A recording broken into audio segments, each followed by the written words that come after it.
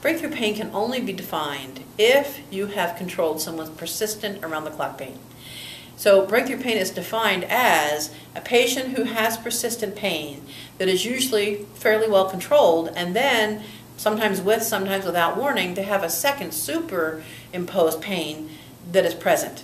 So that's how we define it. If you don't control the baseline persistent pain, all you have is a picture of uncontrolled pain. There are several types of breakthrough pain. There is incident pain, so it could be under the patient's control or not. So, for example, every time I walk to the bathroom, my pain comes back, or every time I go for physical therapy. It could be due to an incident that's not under the patient's control, such as a bladder spasm. A patient cannot say, I choose not to have a bladder spasm. So it's an incident, but they can't control that.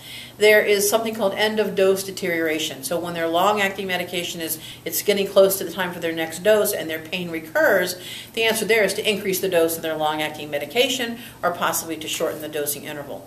And then there's something called non volitional pain, meaning it's not in response to any incident, whether it is or is not under the patient's control, it's just boom, out of the blue, there it is. No warning, nothing really set it off, it's just there it is.